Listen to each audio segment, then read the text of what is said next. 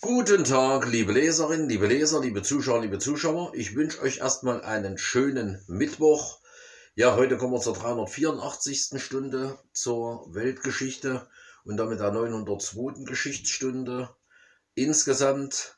Und bevor es äh, damit losgeht, wieder so ein kurzer Überblick über das, was wir schon so lesen konnten.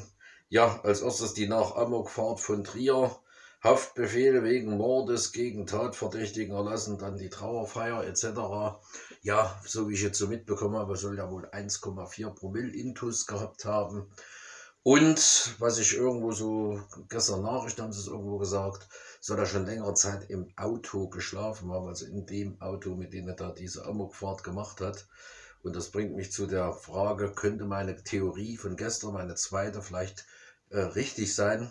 Wird zwar von psychisch krank und so weiter geredet, aber äh, könnte meine Theorie vielleicht richtig sein, dass das jemand ist, der durch die wunderbare Lockdown-Politik der letzten Monate äh, und Beschränkungspolitik vielleicht alles verloren hat und dann rot gesehen hat. Ja, wir werden es vielleicht nie erfahren, weil wir wissen ja, äh, wenn irgendwas nicht politisch ausgeschlachtet werden kann Richtung Rechtsextremismus und jetzt die Proteste gegen diese Politik, dann äh, wird da nicht mehr so viel drüber geredet. Nur wenn vor einer Synagoge in Halle was passiert, geht das ein Jahr lang, dass man da jede Einzelheit erfährt. Ja, Corona-Pandemie. Österreich verhängt ab 7. Dezember Quarantänepflicht für Einreisende. Der Skiurlaub AD, weil wer nicht 14 Tage in Quarantäne will, der brachte nicht sofort 7. Dezember, 14 Tage Quarantäne, dann ist schon der 21. bis man wieder raus darf. Naja, gut, okay, man macht halt weiter, obwohl mittlerweile immer deutlicher wird, dass diese ganzen Zahlen, auf denen dieser ganze Lockdown und diese ganzen Lockdowns und Maßnahmen aufgebaut sind, vollkommener Betrug sind, äh, weil dieser Test Leute zu Kranken macht, die keine Kranken sind, nur um große Zahlen zu generieren. Großbritannien lässt Impfstoff von BioNTech und Pfizer zu. Na, dann wollen wir mal schauen, fangt mal schön an, ihr Briten, und impft mal fleißig. Und dann warten wir mal ab, was die ersten Probleme, wie die ersten Probleme aussehen. Er wird uns aber wahrscheinlich nicht verraten. Und wenn dann jemand verstirbt an diesem Impfstoff, weil er vielleicht so, sogar nicht einmal gewirkt hat und er trotzdem ein Virus bekommen hat, ob das nun Covid-19 ist oder irgendein anderer, werdet ihr wahrscheinlich dann trotzdem noch unter Covid-19-Toten verbuchen, damit eure, eure ganze, ja, wie soll ich sagen, eure ganzes Verbrechen, was ihr in diesem Jahr an der Menschheit begangen, hat, gehabt, begangen habt, nicht auffliegt. Ja, schauen wir mal. Mehr als 2900 Tote in den USA binnen 24 Stunden. Ja, ich denke mal, wir wissen ja die Einwohnerzahl 328 Millionen Menschen in, leben in den USA. Da fällt durch so eine Grippewelle genauso hoch oder proportional von absoluten Zahlen höher aus als in Deutschland. Aber wenn man denkt, bei uns sind es 80 Millionen, das sind also ein Viertel weniger. Das wäre so ungefähr wie wenn bei uns äh, so 600 versterben. Und das ist zwar eine hohe Zahl, ist zwar schade um diejenigen, die versterben, aber das sind wahrscheinlich die, die auch im Prinzip im Großen und Ganzen in jedem Jahr in den USA zu dieser Zeit versterben. Und dort kommt ja noch dazu, dass man doch noch ein wesentlich schlechteres Gesundheitssystem für diejenigen, die kein Geld haben, hat, als hier.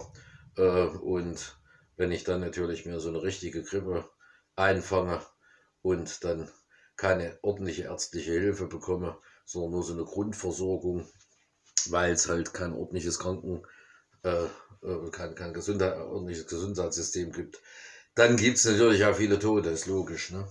Ja, dann haben wir Israel-Parlament stimmt im ersten Schritt für eine eigene Auflösung. Ich weiß nicht, das ist das vierte oder fünfte Mal, dass die innerhalb von ein paar Monaten wählen. Ja, das ist die Demokratie, äh, die man uns beschert hat, die wir ja auch mittlerweile hier haben. Die Demokratie, wo es nicht mehr um den Willen des Volkes geht, sondern um den Machterhalt von denen, die sich da Volksvertreter nennen.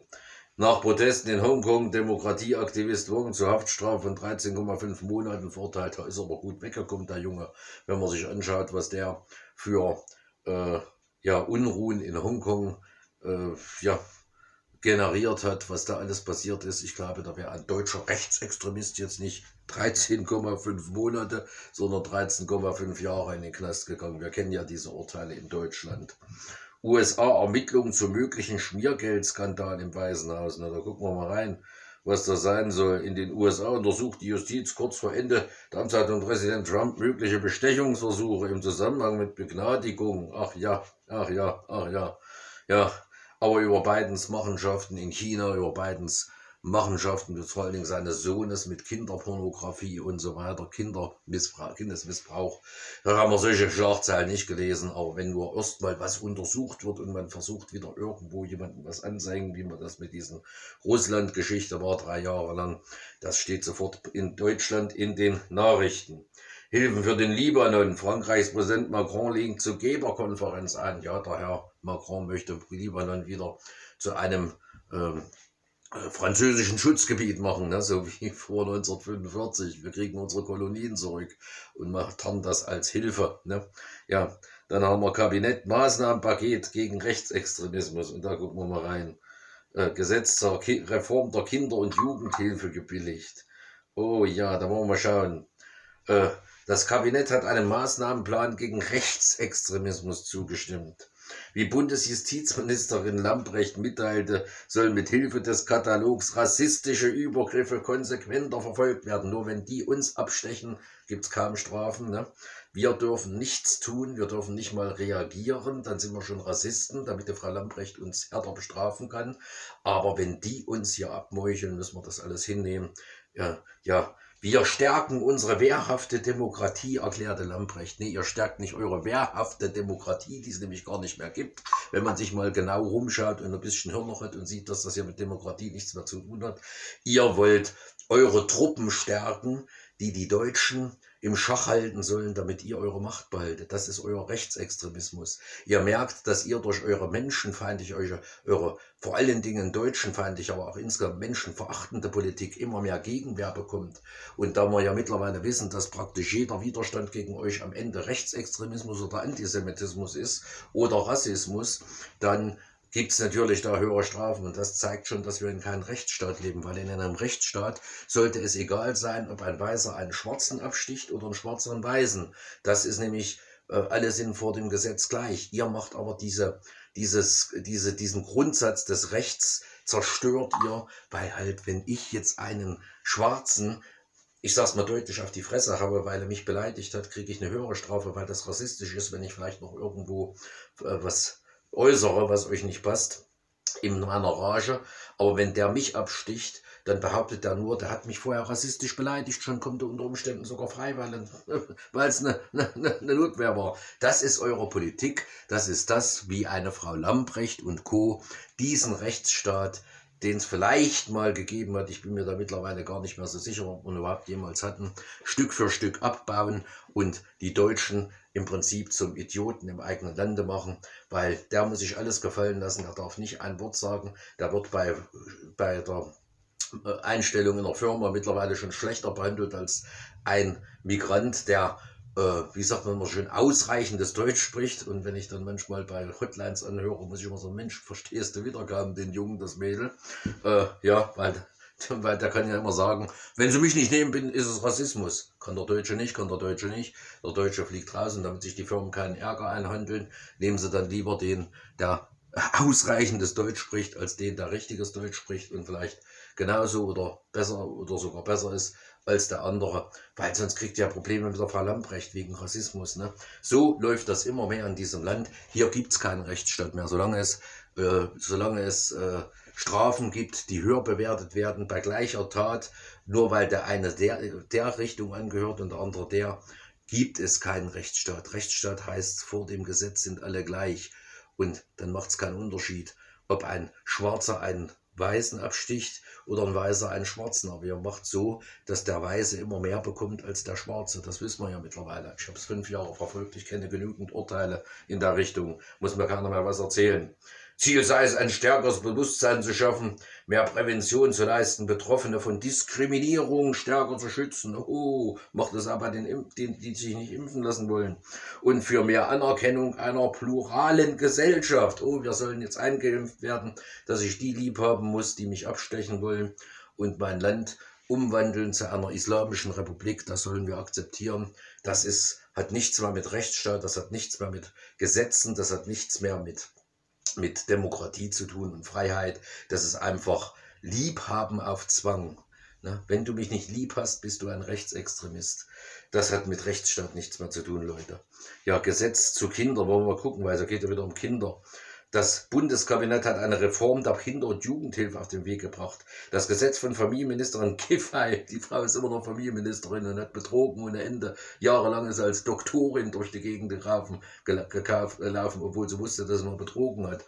Sieht unter anderem vor, dass Jugendliche, die in einer Betreuungseinrichtung untergebracht sind, und sich in einem Nebenjob etwas hinzuverdienen, mindestens drei Viertel ihres Verdienstes behalten dürfen. Vorgesehen ist außerdem, dass Heime künftig jederzeit ungern gemeldet und ohne Anlass kontrolliert werden können. Auch sind Beschwerdestellen geplant. wenn das die am wichtigsten oder die einzigen Bestandteile sind, hört sich gar nicht mal so schlecht an.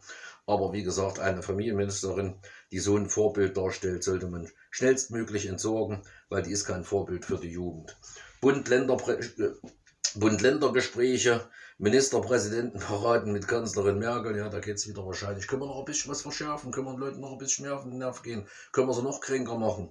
Ja, Bundeswehr MHD ermittelt gegen mögliche Reichsbürger oder waren wieder welche, die haben wahrscheinlich gegen Covid-19 oder die gesamte Politik dieser Republik äh, sich engagiert und dann sind das natürlich Reichsbürger. Aber ich kann euch schon sagen, eure Spielchen werden irgendwann enden und dann kommt es doppelt und dreifach zurück. Dann werdet ihr vor dem Richter stehen und all das bezahlen. Ganz normal, nicht böse, sondern mit Gesetzen. Die schaffen wir auch im Nachhinein, so wie damals die Alliierten Gesetze geschaffen haben, um die Leute von uns vor Nürnberger vor, vor das Nürnberger Gericht zu bringen. Die gab es ja auch vorher nicht, die wurden dann kurzfristig entschieden. Äh, wir machen jetzt einfach die Gesetze. Solche Gesetze werden wir machen, dass ihr belangt werden könnt, auch für Impfschäden, die ihr jetzt per Haftpflicht ausschließt. Ja, und dann haben wir jetzt die lustigen Zahlen noch. Äh, heute haben wir 17.270 positiv getestete, nicht infizierte. Ich sage da jetzt gar nicht mehr viel dazu. Jeder, mittlerweile muss jeder Blöde wissen, dass die Zahlen noch aufgebauscht sind. Und angeblich 487 dadurch verstorben. Ich denke mal, wenn wir ins letzte Jahr reinschauen und gucken uns die Sterbezahlen vom Anfang Dezember an, werden die Zahlen ähnlich sein, bloß mit dem Unterschied, dass man heute jeden Verstorbenen, der einen kleinen Grippevirus in sich trägt, zum Covid-19-Toten macht. Minus und da haben wir 20.700 Genesene und damit sind wir heute wieder bei einem Minussaldo von 3.917 und kumulativ schon getestet, wie die kaputten Millionen über Millionen seit dem 28. Januar 2020 sind nun positiv getestet, nicht infiziert, wie sie es immer drüber stehen, sind keine Infektionen. 1.084.743 habe ich alle Zahlen drin, ja, eine Million 84.743, davon ziehen wir ab, die angeblich durch oder mit Covid-19 Verstorbenen 17.123 sind wir immer noch bei weitem nach zehn Monaten nicht bei der Zahl, die wir 2017, 2018 hatten bei der Grippewelle, die über sechs Monate zusammengezählt worden ist, also das Winter- und Herbsthalbjahr. Da waren es nämlich 25.100, sind wir also noch weit entfernt. Ja, und dann haben wir noch minus 779.500 Genesene, die haben wir hier. Und das sind ein Saldo dann von 288.120 aktiv positiv getesteten, nicht wie bei ARD, da steht Covid-19-Infektion. Und das sind bei 83 Millionen 166.000 771 Einwohner. Ich glaube, ich habe die Zahl jetzt nicht rein goldene Vorgehen, aber es stimmt, könnt ihr nachrechnen, steht ja auf ARD Videotextseite 812. Und da sind dann Prozente 0,346 und wir können sogar wieder abrunden buchhalterisch. Wir sind wieder bei 0,3 Prozent aktiv positiv getesteten derzeit weswegen Merkel und viele mehr, ich habe heute früh, wo ich so vor dem Einschlafen war, im Morgenmagazin schon wieder von so einer Virologin gehört, noch härtere Maßnahmen fordert. Es muss alles dicht gemacht werden. Am besten gleich drei Wochen alles dicht machen und dann schauen wir mal weiter und dann hat es wieder nichts gebracht, weil ja dieser Test alles zu Positiven macht, zu, zu Kranken, die äh, rumlaufen können. Von daher, ja, gut. Und damit sind wir durch und kommen zur Geschichtsstunde mit dem aktuellen Themen. Sind wir durch und kommen zur Geschichtsstunde. Gestern äh, nochmal der Rückblick auf die 383. Und da hatten wir als erstes 1536, Entschuldigung, kurzes Bäuschen. 1536 Ringen um die Einheit, da ging es um die Auseinandersetzung der verschiedenen Richtungen der Reformation und da hat man versucht, einen gemeinsamen Standpunkt zu finden, auf den man sich einigen konnte, ist nicht so ganz gelungen. 1537 Fontana berechnet Geschossbahnen, also wie die Kugel fliegt, hat er etwas genauer berechnet, war aber nicht ganz richtig. Der Herr hieß Niccolo Fontana. 1538 Tizian malt sinnliche Venus, das war die in Anführungszeichen Venus von Urbino, Anführungszeichen Ende, und die malte er in Venedig, wenn ich das richtig im Kopf habe. War er in Venedig? Ja, die Lagunenstadt hat er selten verlassen. 1538 frühzeitig schwimmen lernte, lernen, stellte äh, der Berner Humanist Nikolaus Wünnmann fest, als er erleben musste, wie ein kleines Kind ertrank, weil es nicht richtig schwimmen konnte. 1538 Kampf gegen Osmanen im Jemen. 1539 Beschreibung des Skisports durch Bischof von, den Bischof von Uppsala, Olaus Magnus. Da konnte man ein bisschen mehr erfahren, wie das so alles entstanden ist und die Tradition im Norden in Skandinavien. 1539 Wasser fließt durch Bleigussrohre, also das, was es schon mal in der Antike gab, im Römischen Reich und dann durch ja, die ganze Religionsgeschichte und Rückfall in alte, äh, in, in Zeiten vor vor äh, der urmenschen Zeiten, sage ich mal so, vom Denken her teilweise, äh, was man da hat verrotten lassen, hat man da wieder entdeckt. Und das war der Robert Broke, Sekretär äh, bei König Heinrich VIII. 1505, 1540 Kobaltglas wird wieder entdeckt durch den Glasmacher Christoph Schürer im böhmischen Neudeck, heute Neideck. Dann hat man 1540 Barbiere und Chirurgen, die gründeten da eine gemeinsame Gilde. Und dort waren sie die einzigen, die am Menschen rumschnippeln durften, um medizinische Erkenntnisse zu sammeln, die sogenannte Anatomie zu erkunden. 1540 Kaliberstab für Treffsicherheit, den erfand Georg Hartmann in Nürnberg, damit die Kugeln noch genauer einschlugen. Dann hat man März 1541 Naturgetreues Pflanzenbuch durch Konrad Gessner und als letztes noch 24-26. August, August 1542 Abenteuer Amazonas. Da erforschte Francisco de Orellana erstmals komplett bis zur Mündung, durchfuhr komplett den Amazonas. Und jetzt gibt es noch einen Schluck Milch. Und dann geht es weiter.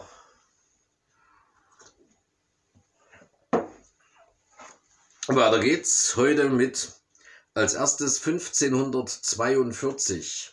Fernel ordnet das Medizinwissen. Der französische Arzt Jean Fernel veröffentlicht seine Schrift in Anführungszeichen Der natürliche Teil der Medizin Anführungszeichen Ende. Er wird damit zum Neubegründer der Physiologie. Fernel geht von den Elementen warm, kalt, feucht und trocken aus und beschreibt die in Anführungszeichen Temperamente, Anführungszeichen Ende, als Mischungen dieser Elemente. Mit seinem Konzept erscheint die Physiologie als ein abgeschlossenes und weitgehend widerspruchsfreies Gedankengebäude. Fernell gebraucht den Begriff Physiologie bereits im modernen Sinn und zwar als Lehre von den normalen Funktionen des Körpers. Jean Fernel gilt Jean Fernel spielt eine zentrale Rolle bei der Entwicklung der schöpferischen Phase des Galenismus in der Renaissance.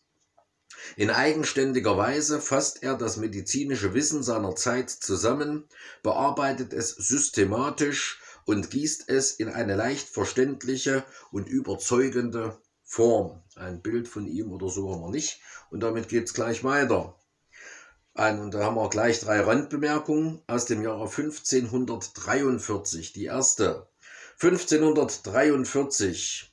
Im vierten Italienkrieg gegen die Habsburger gelingt Frankreich mit Hilfe der verbündeten Osmanen die Einnahme der Stadt Nizza. Also da haben sich die Franzosen mit den Muslims zusammengetan. Das schau an. Dann hat man 1543 Angriffe islamischer Nachbarfürsten auf das christliche afrikanische Äthiopien werden mit portugiesischer Hilfe zurückgeschlagen. Da ging es los, da kam dann auch die, der Islam so richtig nach Äthiopien. 1543 noch einmal König Ferdinand von Ungarn erlässt ein Edikt, aufgrund dessen alle Buchdrucker und Buchhändler ertränkt werden sollen, die protestantische Werke drucken oder verbreiten. Das ist so ungefähr, war dann sowas wie heute der Frau Lamprecht, ne, die härtere Strafen für den angeblichen bösen Rechtsextremismus beschließen. Genau dieselben Muster wie damals. Damals waren es die bösen äh, Leute der Reformation, die Protestanten, deren Bücher verbrannt wurden. Heute löscht man die Texte von angeblichen Rechtsextremisten im World Wide Web und erlässt härtere Strafen dagegen, ne? Weil Bücher schreiben in dem Fall ganz gefährlich war und heute das angebliche Schreiben im Internet ganz gefährlich ist. Stimmt's, Frau Lamprecht? Sie sind genauso ein Typ wie Ferdinand, wie Ferdi König Ferdinand von Ungarn. Ne? Ja, was uns nicht passt, was unsere Macht gefährdet, das wird zum Rechtsextremismus erklärt. Und weil da ja der Deutsche immer noch gut drauf anspringt, äh, tun die das alle nach wie vor, oder nicht alle, aber eine große Zahl von Leuten immer noch akzeptieren. Aber die Zeit wird kommen, das verspreche ich Ihnen, da werden sie es nicht mehr akzeptieren, weil sie merken, dass sie mittlerweile fast jeden zum Rechtsextremisten machen, der irgendwas gegen ihre Politik sagt. Weiter geht's mit 1543 noch einmal. Vesal will Galen korrigieren. In Basel erscheint in Anführungszeichen de humani corporis fabrica Anführungszeichen Ende. Das grundlegende anatomische Werk von Andreas Vesal, der an der Universität in Padua unterrichtet. Es enthält eine Fülle hervorragender Abbildungen und anschauliche Beschreibungen der Strukturen des menschlichen Körpers. Im Einklang mit der fortschrittlichen Geisteshaltung seiner Zeit rückt Vesal den Menschen in den Mittelpunkt und plädiert für eine naturgetreue Darstellung des Wahrnehmbaren. Indem er seine Sektionstechnik detailliert schildert, macht Vesal seine Beobachtungen in einem bis dahin nicht gekannten Ausmaß nachprüfbar. Mit scharfen Worten deckt er mehr als 200 Fehler der alten Anatomie auf. So bestreitet er zum Beispiel, dass der Gallengang im Magen endet dass sich die Gelenkhöcker des Hinterhauptbeines bei seitlichen Kopfbewegungen aus den Pfannen des ersten Halswirbels entfernen, dass es bei Menschen ein in Anführungszeichen Rete mirabile Anführungszeichen Ende in Klammern Wundernetz von kleinen Arterien an der Basis des Gehirns Klammer zu gibt, dass die Leber fünflappig und der Uterus gehörnt ist und sieben Kammern aufweist. Trotzdem folgt Vesal jedoch den Vorgaben des Claudius Galenus in Klammern (Galen), Klammer zu, einem der bedeutendsten Ärzte der Antike. Er stellt ihn niemals grundsätzlich in Frage, sondern beabsichtigt nur eine Korrektur. So sind Vesals Beobachtungen weitgehend von jenen Erwartungen bestimmt, welche die galenische Physiologie weckt. So kann, so kann Vesal zum Beispiel nicht die durchgängigen Poren zwischen den Herzkammern finden, von deren Existenz Galen überzeugt war. Trotzdem bleibt er bei der Vorstellung, dass Blut durch die Herzscheidewand direkt von der rechten in die linke Kammer hindurch schwitzt. Tja, Gott, gab's halt damals noch keine Röntgen und MRT und alles sowas, konnte man sich das alles nicht so genau angucken. Gell? Nochmal Bild von ihm. Andreas Vesal, der flämische Mediziner in italienischen Diensten, gilt als erster neuzeitlicher Anatom (Holzschnitt von Jan Stephan von Kalka 1542, Klammer zu, Kalka geschrieben, jeweils zweimal mit C, ganz vorne in der Mitte. Da ist er, dieser Andreas Wesal, der so einige Fehler aufdeckte, aber trotzdem noch bestimmte Sachen als richtig annahm, obwohl es, ja, man kann schon sagen, Unsinn war.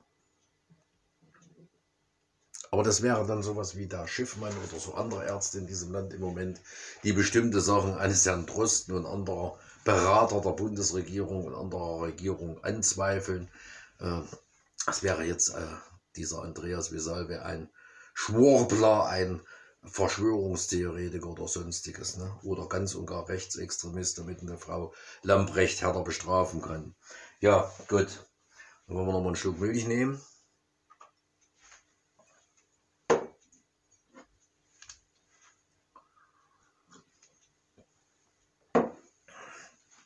Und weiter geht's mit dem 10. Februar 1543. Ein Streiter wider die Reformation. Der katholische Theologe Johannes Eck, einer der Hauptgegner des Reformators Martin Luther, stirbt 56-jährig. Eck, seit 1510 Professor der Theologie in Ingolstadt, verteidigte in zahlreichen gegen die Lutheraner gerichteten Schriften die katholische Lehre, trat gleichwohl aber auch für eine Reform der Kirche ein. 1537 übersetzte er in Anführungszeichen Text genauer als Luther, Klammer zu, die Bibel, Bibel ins Alemannische. Für den Augsburger Reichstag 1530 formulierte er 404 Artikel über die Irrtümer Luthers. Ja, aber da war das noch möglich, da konnte man, da ging es langsam los, dass man gegenseitig sich Thesen vorwerfen konnte und konnte streiten. Heute würde einer von beiden vom, vom System unterdrückt und vollkommen unterdrückt und alles gelöscht, was er hat und verfolgt und am Ende ist er Rechtsextremist und kriegt härtere Strafen. Stimmt's, Frau Lamprecht? Weiter geht's. 14. April, 14. April 1543 erste Europäer an Kaliforniens Küste. Bartolomé Ferrelo, ich wiederhole es nochmal, Bartolomé Ferrelo kehrt nach Puerto de Navidad in Klammern heutiges Mexiko, Klammer zu, zurück. Nach dem Tode des portugiesischen Entdeckers Juan Rodriguez Cabrillo hatte der erste Steuermann die Leitung der Expedition übernommen. Cabrillo und Ferrelo haben als erste Europäer die Küste Kaliforniens erforscht. Kurzes Bäuerchen. Und auf ihrer mehr als neunmonatigen Reise zahlreiche Buchten entdeckt. Sie gelangten bis auf die Höhe des heutigen San Francisco. Cabrillo starb nach Auseinandersetzungen mit Indianern. Und da haben wir noch ein Bild. Karte in Klammern Ausschnitt, Klammer zu, von Kalifornien und der Westküste von Mexiko, in Klammern von Fernao Vaz Dorado 1580, Klammer zu. Also das war das, was man damals schon so von Kalifornien und der kalifornischen Küste wusste, wie sie aussah. Also es kam der Sache schon relativ nah, was wir heute in Atlanten auf Weltkarten sehen können.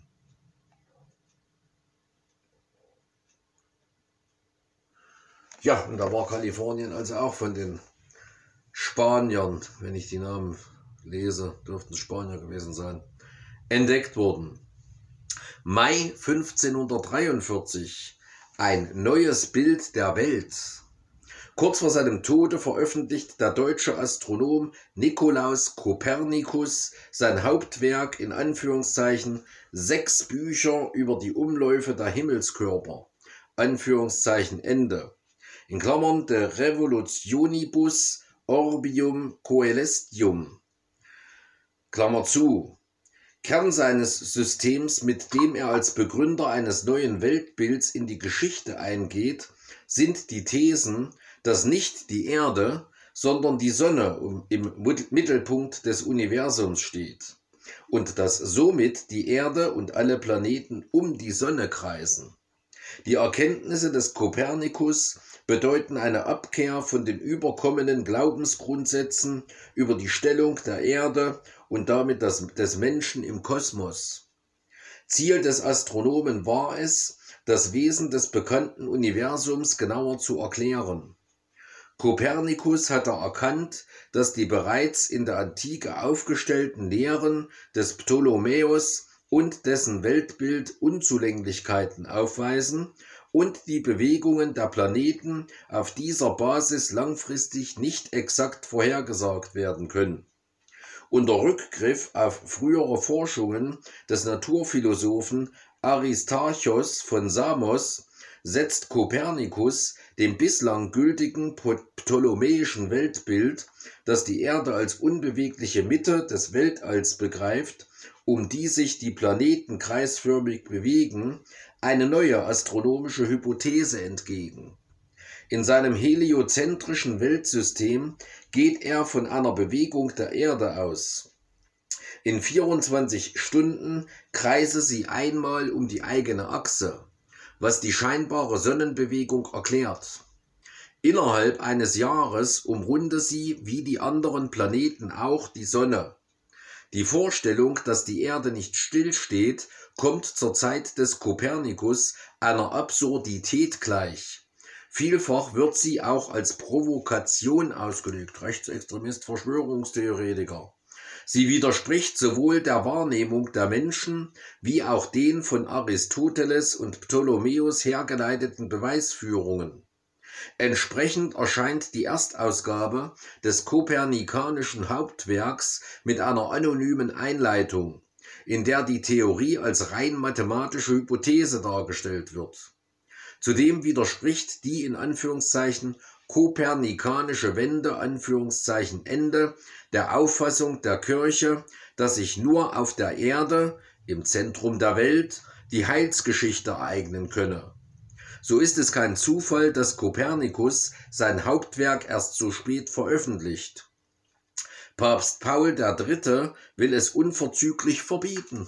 Frau Lamprecht, ne? Doch erst im Jahre 1616 gelangt das Werk auf den Index. Da ist dann jemand dran gekommen wie Frau Lemprecht und Frau, Ma äh, Frau Maas, Herr Maas, Entschuldigung.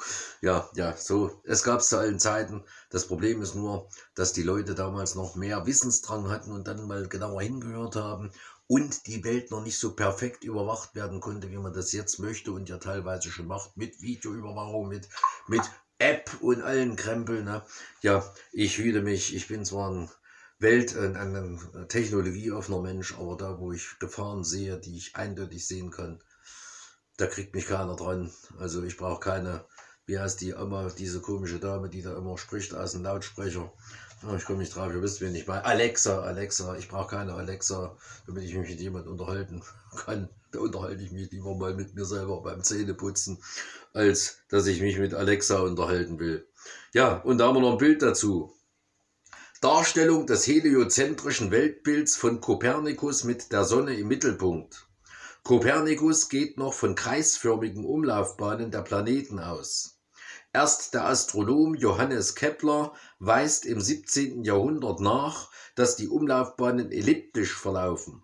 In Klammern Illustration aus Andreas Cellarius in Anführungszeichen Harmonia Makrokosmika, Anführungszeichen, Ende 1661. Ja, dieser Kopernikus heute ein schwer verfolgter, schwer verfolgter Verschwörungstheoretiker, dem man sogar die Bude stürmen dürfte, um Beweismittel sicherzustellen für seine Verschwörungstheorien, dem seine Zulassung allesamt entzogen würden, nur weil er der Meinung der Mehrheit widerspricht, die aber nicht, wie wir aus der Weltgeschichte wissen, immer richtig liegen muss und meistens nicht richtig lag, weil sie meistens durch Propaganda beeinflusst wird von den Herrschenden, die alte Muster äh, Bestand haben lassen wollen, damit sie ihre Macht behalten. Und weiter geht's mit, die, mit zwei Randbemerkungen, und zwar aus dem Jahre 1544 jetzt schon. 1544 die Schlosskapelle Hertenfels im sächsischen Torgau ist die erste protestantische Kirche Deutschlands. Sie wird von Martin Luther geweiht, also ihren Torgau, ja, die Kirche, die die erste protestantische war, in Deutschland. Also das hat schon wirklich einen historischen Wert. Dann haben wir 1544.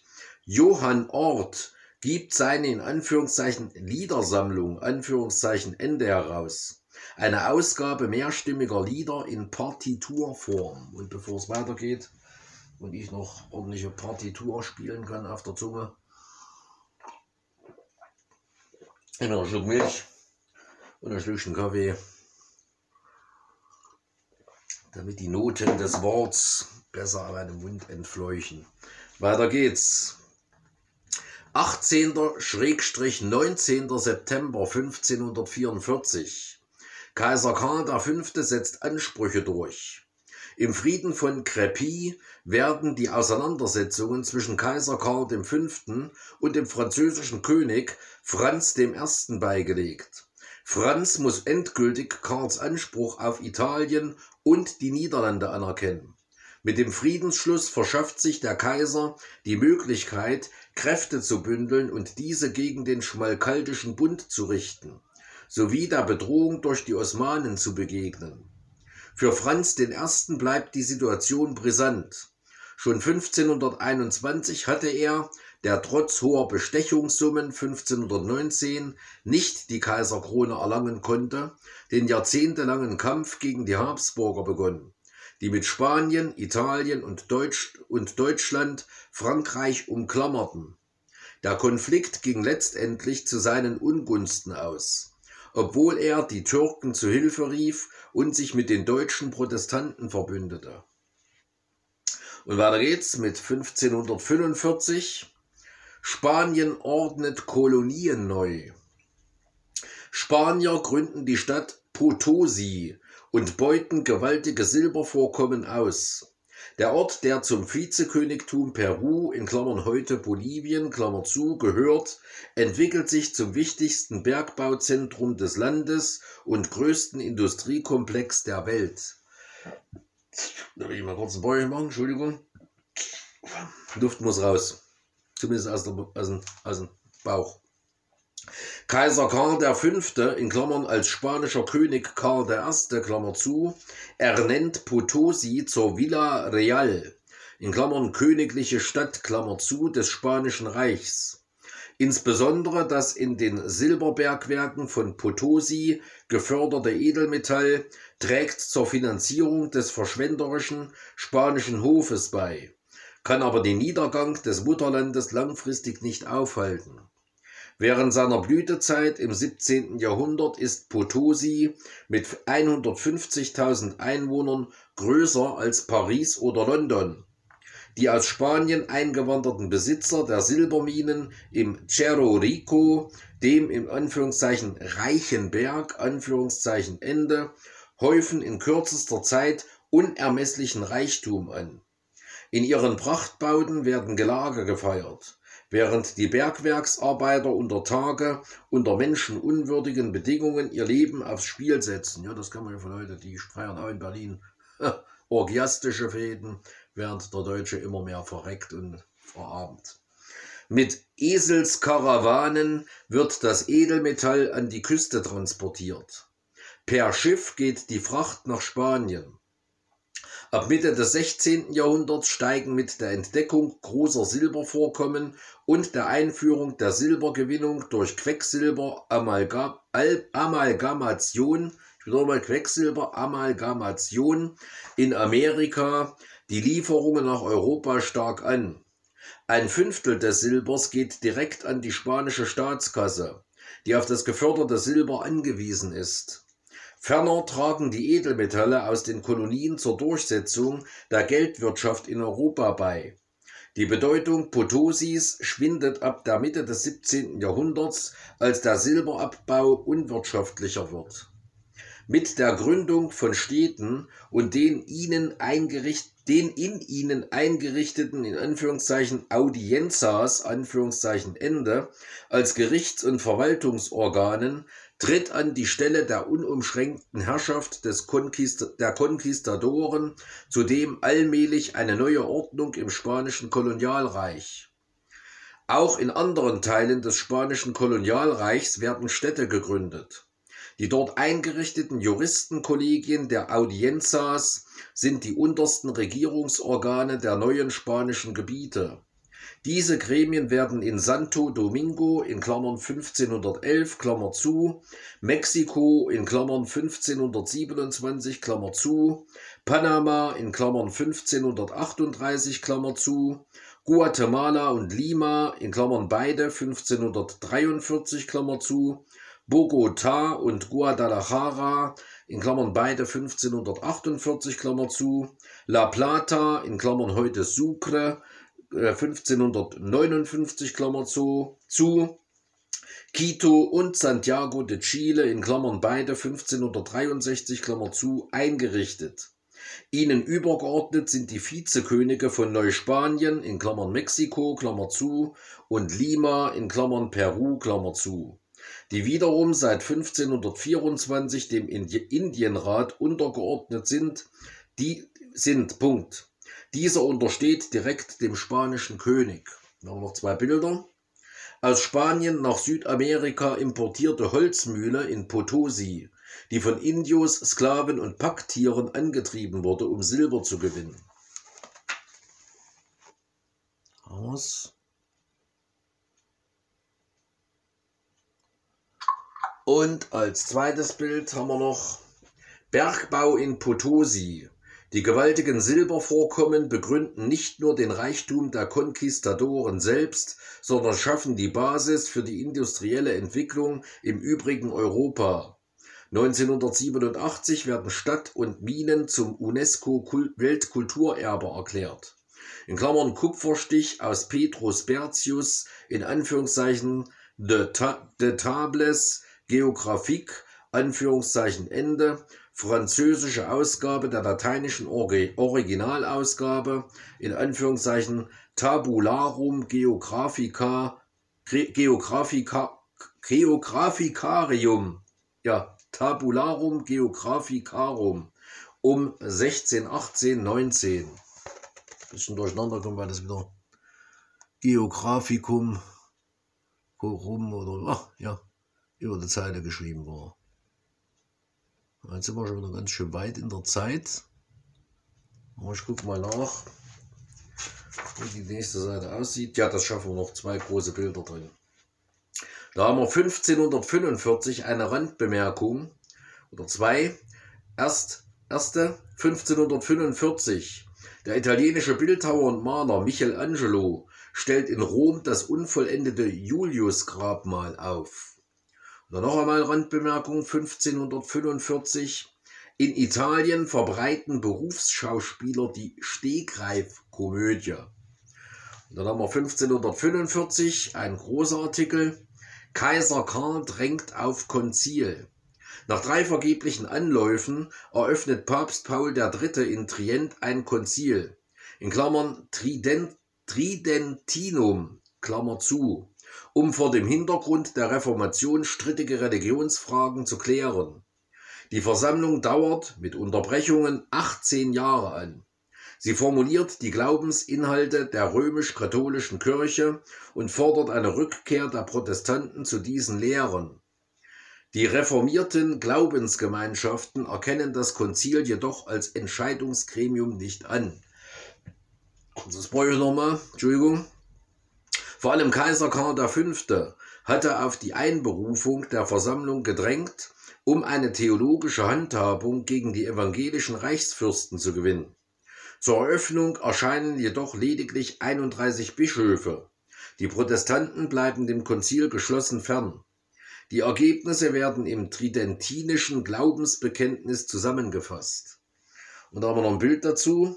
Sitzung der Kirchenversammlung in der Kathedrale von Trient in Klammern Gemälde eines schweizerischen Malers nach einem zeitgenössischen Original 1769, Klammer zu. Und da haben wir schon die erste Seite fertig, weil es ein großes Bild drin hat. Ja, die sind erst gar nicht gekommen, die waren, die wussten, sind nicht blöd, die, die wussten, was vorher passiert ist mit Leuten wie Hus und so weiter. Man lädt ein zum Dialog, aber nur um dann diejenigen, die man da einlädt, niederzumachen und am Ende unter Umständen zu verbrennen, so wie das heute ja auch der Fall ist, wenn sie uns zum Dialog einladen. Da erklärt man uns, wie alles richtig ist, was sie da tun. Und wer da nicht dafür ist, der ist Rechtsextremist und Radikaler und sonstiges. Weiter geht's. 1546. Schmalkaldischer Krieg beginnt. Kaiser Karl V., der sich in einem Geheimbündnis der Unterstützung Bayerns versichert, will die im Schmalkaldischen Bund zusammengeschlossenen deutschen Protestanten militärisch besiegen.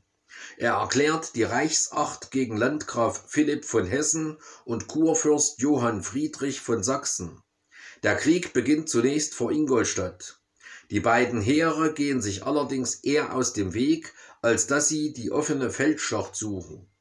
Das ändert sich, als der eigentlich protestantische Moritz von Sachsen auf kaiserlicher Seite in das Land seines Verwandten Johann Friedrich einmarschiert. Der Vetter kehrt sofort zurück nach Sachsen, um den Angreifer, dem der Kaiser die sächsische Kurwürde in Aussicht gestellt hat, zu vertreiben. Der schmalkaldische Front, die schmalkaldische Front ist jedoch geschwächt. Der Kaiser wendet sich im Donaufeldzug zunächst gegen die isolierten süddeutschen Städte des Bundes. Ja, hat er wieder gekauft, um sogar gegen seinen eigenen Bruder was, was der Bruder vorzugehen. So läuft das. Und da haben wir ein Bild. Porträt von Johann Friedrich Kurfürst von Sachsen. In Klammern Gemälde von Lukas Kranach, dem Älteren 1531.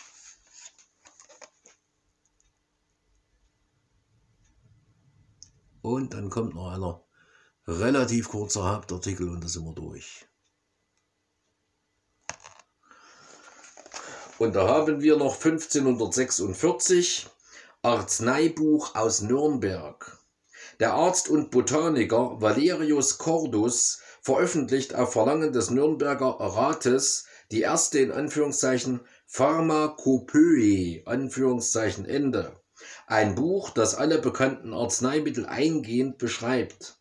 Cordus ist für diese Publikation prädestiniert, denn wie der Bayer Leonhard Fuchs, der sich 1542 an einer ersten botanischen Terminologie versuchte, beschäftigt sich jener intensiv nicht nur mit einheimischen, sondern auch mit den vielen neuen Pflanzen, die durch größere Entdeckungsreisen aus Amerika und Asien nach Europa gelangen. Ja, nachdem wir das erste oder dieses Arzneibuch aus Nürnberg hatten, sind wir fertig für heute. Bild war dazu nicht mehr dabei. Ja, ich hoffe, es war wieder das ein oder andere Interessante für euch dabei. Es konnte wieder die ein oder andere Wissenslücke geschlossen werden oder altes Wissen wurde wieder aufgefrischt und noch schöner wäre es, wenn ich eine Anregung gegeben habe zum selbstständigen Nachdenken über historische Personen und Ereignisse der Geschichte, abseits dessen, was uns darüber heute als Deutungen äh, rübergebracht wird von Dokumentaristen und Historikern der Neuzeit, die das natürlich immer noch der heutigen Ideologie und Sichtweise hin auslegen. Leider, leider. Ja, und dann hoffe ich, dass euch das Video auch heute wieder gefallen hat, wir uns auch morgen wiedersehen und wiederhören, sowohl bei VK.com als auch bei YouTube und Facebook.